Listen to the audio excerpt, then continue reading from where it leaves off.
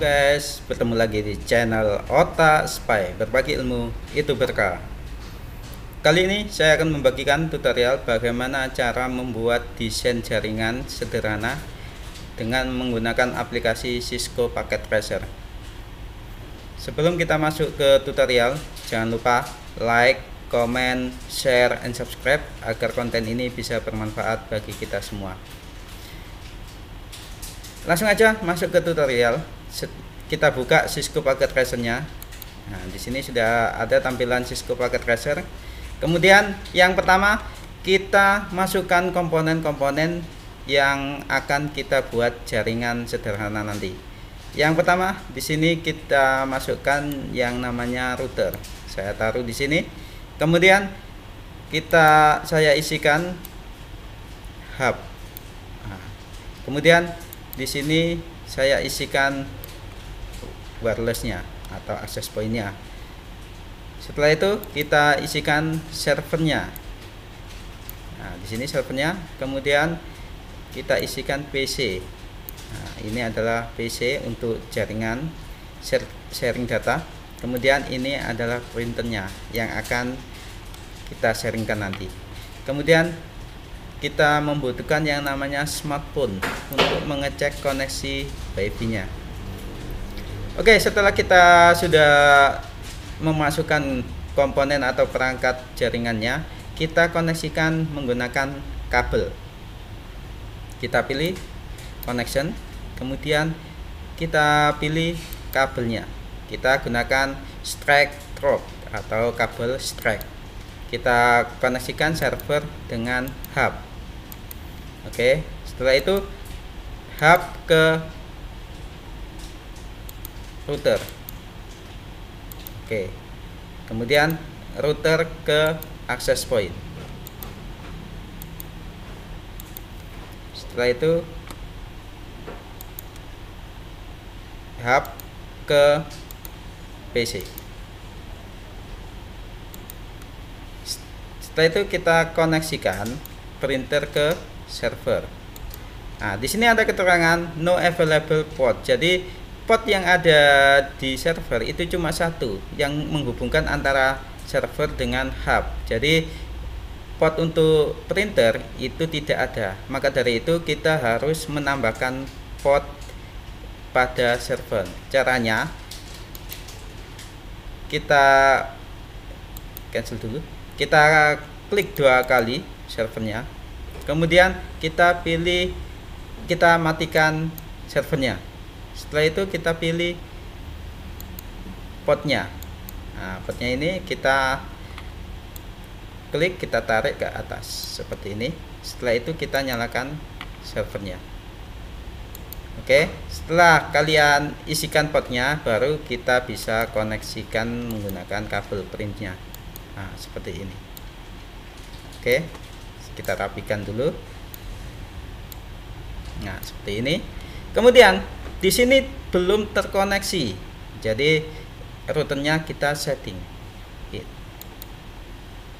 Klik dua kali router kemudian masuk ke config. Di sini untuk gigabyte ether 00 ini adalah kabel yang terhubung dari hub ke router. Supaya bisa terkoneksi secara otomatis centang aja on. Maka dia akan terkoneksi secara otomatis. Kemudian router klik dua kali.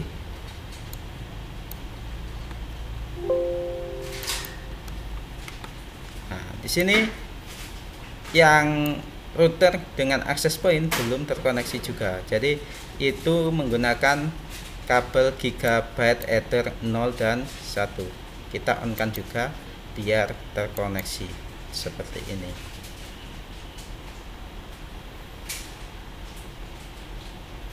Oke setelah itu kita setting access pointnya klik dua kali access point nah, pilih konfigurasi.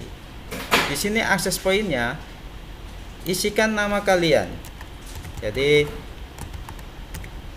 kita isikan di sini otak spy kemudian wirelessnya di sini kita password. Pilih WPA PSK kemudian isikan passwordnya.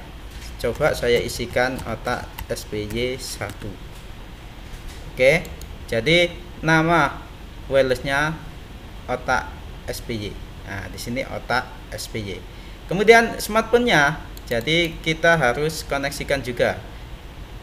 Caranya pilih config kemudian pilih wireless. Di sini passwordnya kita isikan juga. Otak SPY 1 nah jadi smartphone ini otomatis akan terkoneksi dengan otak SPY 1 kemudian jaringan ini sudah terkoneksi dengan otomatis. Jadi kita kita akan isikan IP address untuk jaringan ini kita isikan IP address server kemudian router yang menghubungkan ke hub dan menghubungkan ke access point kemudian kita isikan IP-nya PC client. Agar mudah untuk mengisikan saya isikan saya tuliskan di setiap komponen IP-nya kita coba IP-nya untuk servernya 192.168.1.3 kemudian IP komputer klien 192.168.1 titik 4 untuk IP yang menghubungkan router dengan hub kita isikan 192.168.1.5 kemudian untuk IP yang menghubungkan router dengan access point kita isikan 11.10.1.1 kemudian di sini IP di router yang menghubungkan ke hub itu kelas C dan yang menghubungkan ke access point itu kelas A. Kenapa kok berbeda? Nah, di sini fungsinya router adalah menghubungkan dua jaringan yang berbeda menjadi satu jaringan.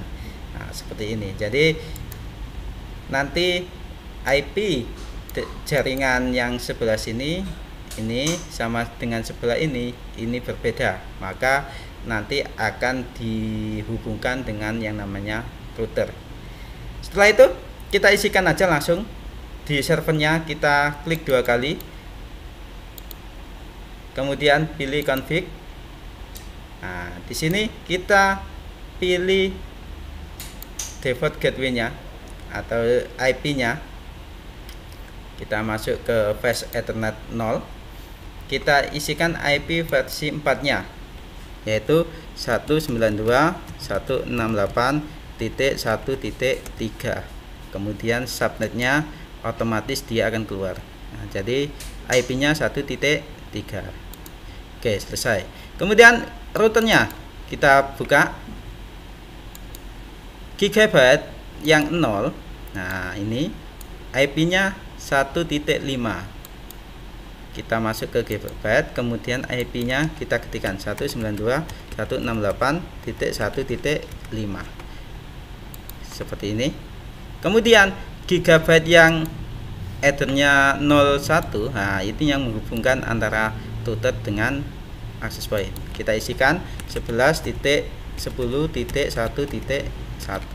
seperti ini ini adalah kelas A jadi subnetnya 255 titik 0 titik 0 titik 0 oke.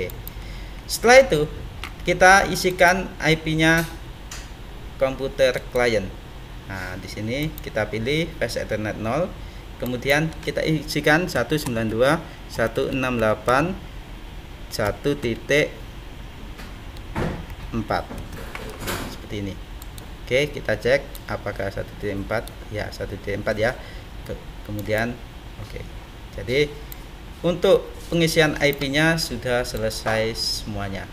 Jadi untuk desain jaringan ini yang akan kita printkan nanti pada waktu ujian. Kemudian biar desain kamu tidak dianggap buatan orang lain, maka kalian isi nama kalian. Di sini nama kelas terakhir adalah nomor ujian jadi di sini nanti namanya kalian isikan nama kalian kelas ditaruh di samping atau di bawah. Boleh. Kemudian mungkin dikasih tambahan seperti ini. Nah, kotak seperti ini. Supaya bagus. Silakan. Dipercantik monggo. Tidak monggo. Nah ini yang akan kita sharingkan. Oke tutorial untuk membuat desain sederhana kali ini sudah selesai. Terima kasih selamat mencoba dan semoga sukses. Berbagi ilmu itu berkah